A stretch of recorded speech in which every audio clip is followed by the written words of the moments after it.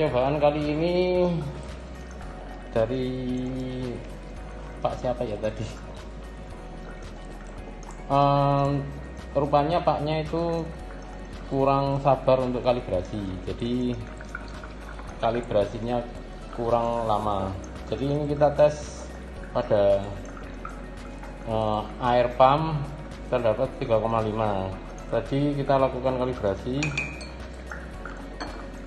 mengenalkan sama pakai aerator sudah benar. Jadi kalibrasinya kalau dirasa e, pertama kurang sesuai dikalibrasi lagi. Kalau kurang sesuai lagi dikalibrasi sampai e, keadaan sesuai seperti yang kita inginkan. Tadi memang pada saat kalibrasi pertama di aerator ini nilainya sampai 20 itu jelas salah. Soalnya di manual booknya ini kan harus 7,6 kita jerukan pada larutan A.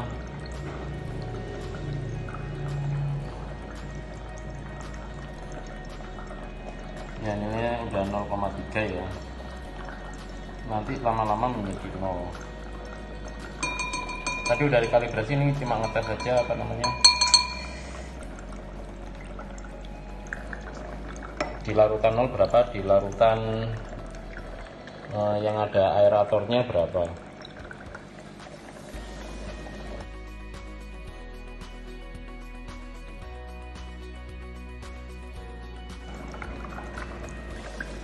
Jadi saya sarankan kalau kalibrasi pertama kurang berhasil dilakukan lagi kalibrasi kedua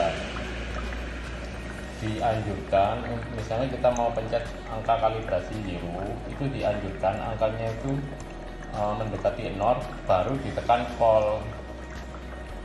Jadi nilainya nilai sesungguhnya sudah mendekati benar sama dengan ini e, kalau nilainya sudah mendekati 7,6 baru kita, kita klik kita tekan kalibrasi untuk uh, yang high.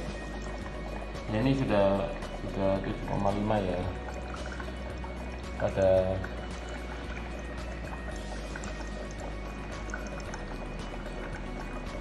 pada larutan aerator. Sekarang kita kasih ke air pump ini.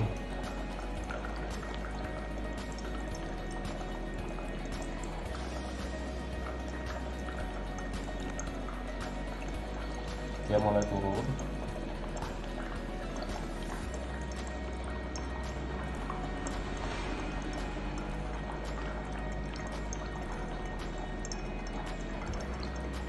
sampai dia melambat atau ada titik balik e, menurun kemudian naik dan itu nilainya nilai sesungguhnya.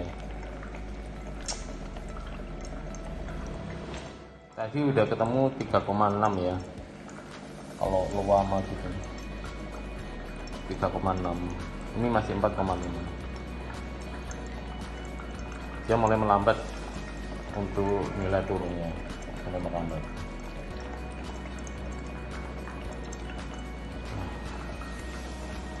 ini bisa disebut titik balik 4,3 4,4 bisa.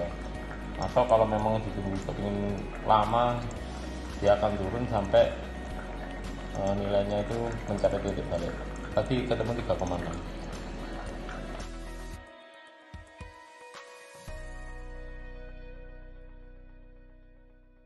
Terima kasih sudah menonton video kami. Jangan lupa subscribe untuk mendukung channel ini.